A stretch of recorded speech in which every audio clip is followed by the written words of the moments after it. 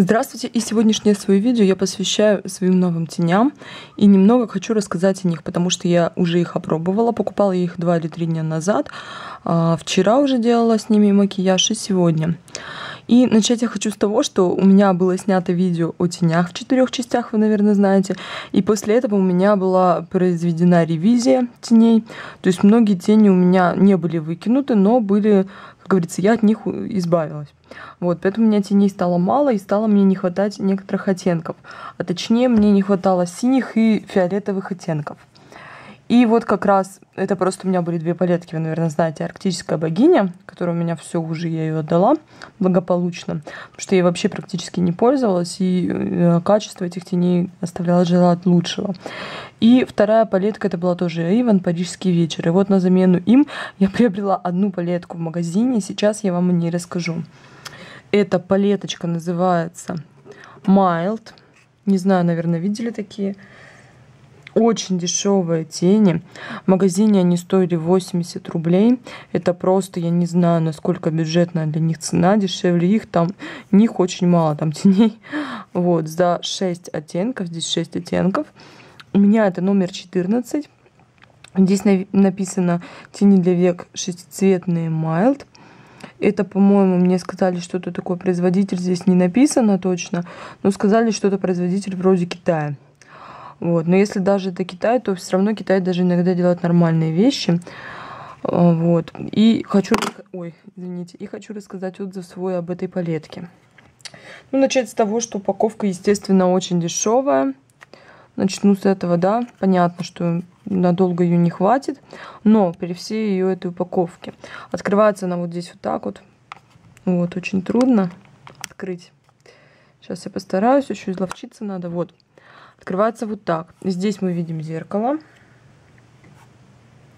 Зеркало неплохое, но я им, конечно, не пользуюсь. Обычно у меня другое зеркало. И вот так вот выглядят сами тени.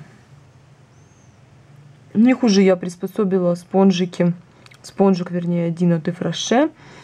И также вот их родной спонжик такой беленький, не очень хороший, но в принципе неплохо на него тени набираются. И давайте начнем а, по порядку. Вчера мой макияж был полностью выполнен вот этими вот оттенками. Здесь голубой. А, здесь нет ни одного матового оттенка, все оттенки перламутровые. Я хотела себе именно такие на лето. Голубой, синенький и темно-синий. И сейчас я вам наберу их. Конечно, видно уже, что они такие вот после малого количества применения, они такие покоцанные довольно-таки. И вы, наверное, подумаете, что они набираются, вот видите, как они набираются не очень хорошо то есть какими-то кусками, но на базу эти тени вот у меня вчера они продержались 10 часов. То есть и ничего абсолютно с ними не стало. Они не размазались, я использовала все три оттенка макияжа, то есть от светлого к более темному перехода. И абсолютно ничего у меня с этими тенями не стало на базу. Без базы, если честно, я их даже не пыталась наносить. Вот такие оттеночки на мой взгляд, вообще просто замечательное. Что-то наподобие таких оттенков я вот присматривалась, было в Фаберлике. То есть там были такие вот блестящие, голубые и как раз и фиолетовые тоже оттеночки. Но в Фаберлике, конечно же, цена совсем не такая. Здесь очень бюджетно. И говорю, что у меня не продержались долго эти тени. На самом деле они именно вот так вот и выглядят на веках, как здесь. То есть они очень яркие. Мне эти тени понравились тоже могу сказать, что я их советую. Так, и следующее. Три оттеночка тоже я вам сейчас покажу. Это вот такие вот. Это сиреневый, светло-сиреневый, более фиолетовый такой и темно-фиолетовый. На самом деле при цветопередаче на глазах вот здесь вот между вот этими оттенками не очень большая разница, но есть. И вот а, здесь тоже так же, то есть они мягкий плавный переход получается. И здесь с оттеночка я начну, наверное, вот с этого, потому что он все-таки самый светлый здесь. Это светло-сиреневый, дальше такой сиренево-фиолетовый и темно-фиолетовый. Ну вот темных цветов больше всех почему-то, хотя странно, на самом деле, наверное, надо было наоборот сделать, потому что темные мы, наверное, тенями реже пользуемся. Ну, здесь вот сделано так, но ничего страшного. И сейчас покажу сводчики этих оттеночков. Тоже так же абсолютно. Накрашено тоже у меня было ими утром, а вот сейчас до сих пор у меня сегодня вот фиолетовые.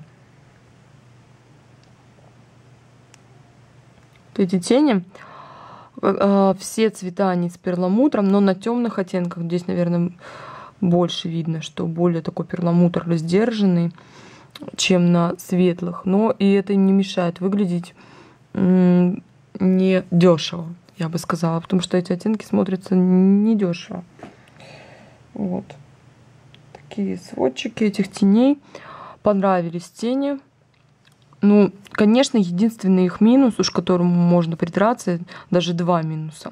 Это первое, конечно, то, что упаковка такая вот дешевая, да, и то, что сами тени видите, как они вот у меня были использованы буквально несколько раз, уже видно в них какие-то такие как проплешинки, что ли, да, ну нет, ну что вот они неровные так вот набираются. Это их минус, конечно. А, упаковка, ну я не буду к ней придираться за такие деньги. Еще и зеркальце здесь есть, еще и сами тени такие. Здесь вообще много теней. Вот, то есть за такие вот средства. И я могу еще придраться к тому, что нет, они не осыпаются. Здесь с этим все нормально. То есть они не осыпаются, но у них очень неприятный аромат. То есть запах этих теней оставляет желать лучшего, и он, конечно же, такой дешевых теней, именно вот запах. Если кому это интересно, хотя мало, наверное, кому это интересно, как они пахнут. Но пахнут они горьковато, на самом деле, такой горько какой-то затхлый аромат. Это единственное, к чему можно в этих тенях, на мой взгляд, придраться. И вот как они набираются. Но меня эти все вопросы не смущают, три. И поэтому этим теням я ставлю 5 с минусом. Минус вот за эти вот какие-то небольшие недочеты. Вот такой вот мой был обзор на палеточку Mild. Еще присмотрюсь к другим. Там есть более были светлые и более темные. Я выбрала более темные на лето. Захотелось мне таких ярких оттеночков. Всем спасибо за внимание. До свидания.